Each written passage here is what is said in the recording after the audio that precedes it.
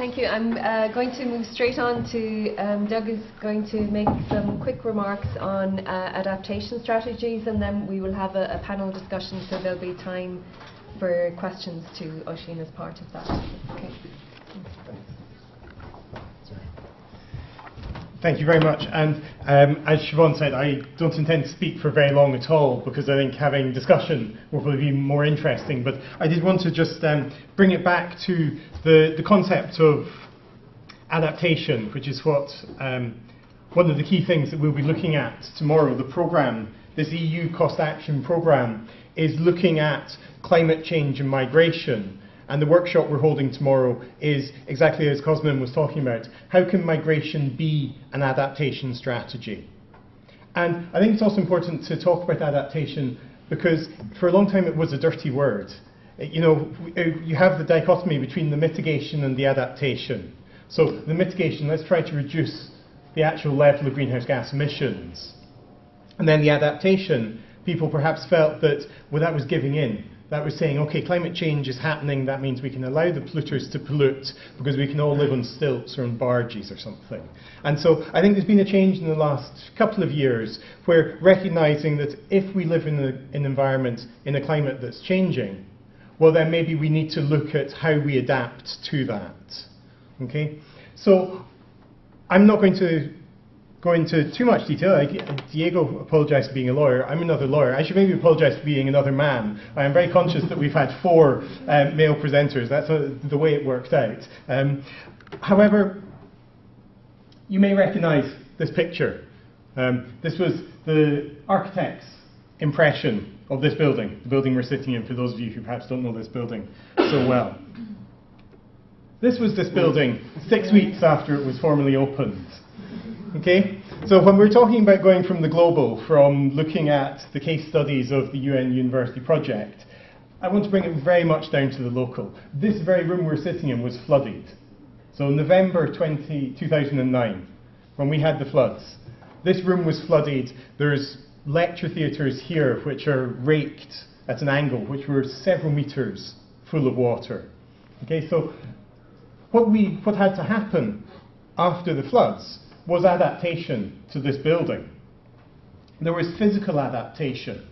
So we had to improve the flood, the physical flood barriers that were put in place around this building. So hopefully, if the river rises again, there won't be the same egress of water into the building.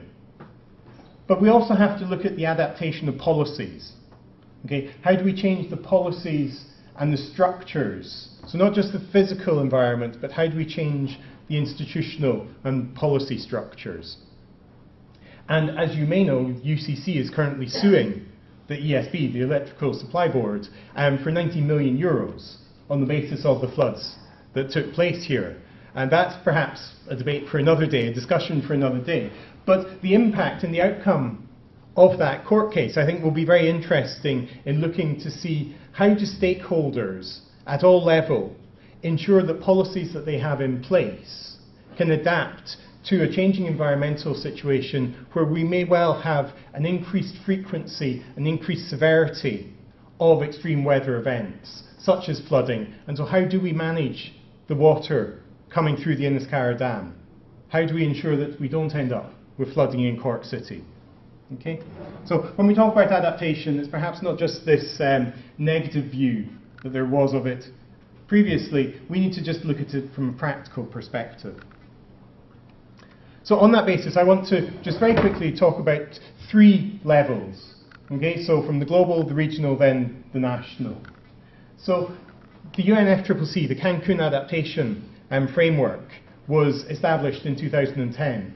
So that was at the Conference of the Parties in Mexico. Uh, it was the 16th COP. And it was important because that was the first time that adaptation had been given the similar weighting to the mitigation efforts. So it was recognition that we need to look at uh, mitigation and adaptation at the same level. Okay? And the, the Cancun Adaptation Framework set out a range of priorities or principles for how states should adapt um, or adopt adaptation strategies. And it also set up an institutional structure within the UNFCCC with an adaptation committee so that there can be an ongoing focus at a global level on where adaptation measures are going. How do we ensure a country-driven, gender-sensitive, participatory and fully transparent approach, for example?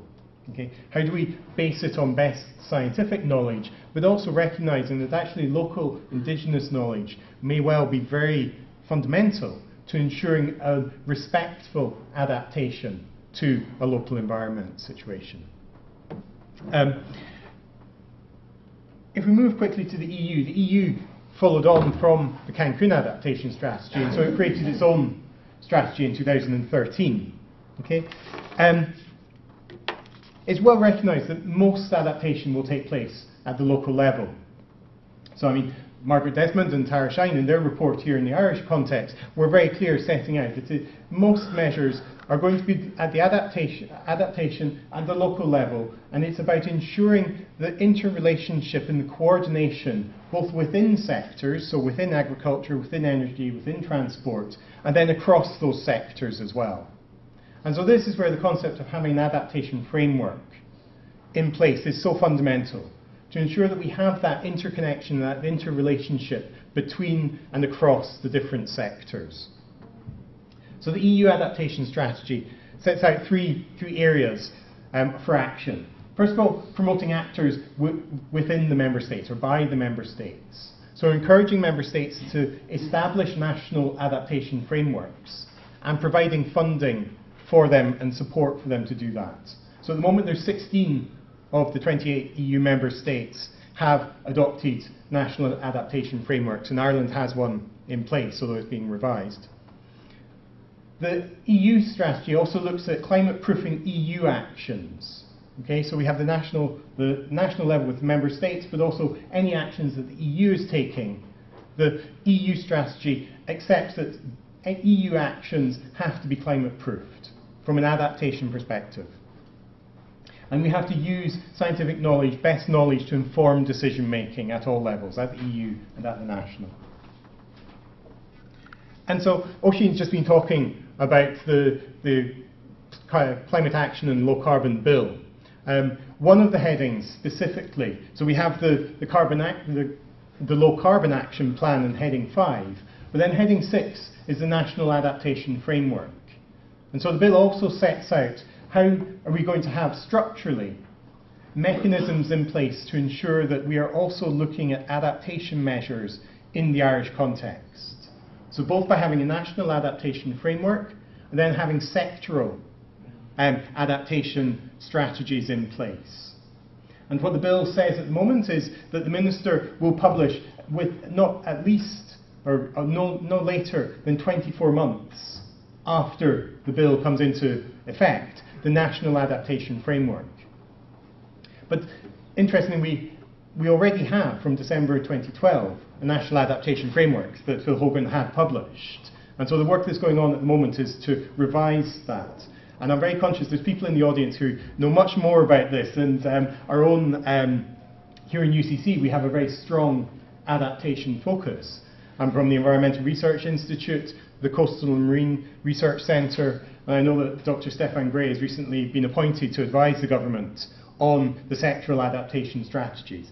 So here at a local level, or within the national level, I think we have an opportunity to engage in this process at the moment to try and ensure that adaptation, how we change the policies, change the things that we do to protect the most vulnerable in society, to use the climate justice perspective, is embedded within these frameworks, these national adaptation frameworks. And if we want to think about what actions we can take at a local level, to come down from the national level, one of the things the EU adaptation strategy does is to promote the covenant of mayors. Okay, so this is where mayors of cities and regions across the EU commit to low carbon initiatives.